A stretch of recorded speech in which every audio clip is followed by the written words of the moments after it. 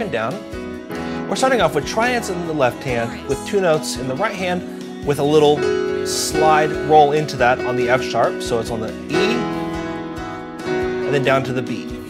A dark organ sound with the mod wheel down, here's what it sounds like.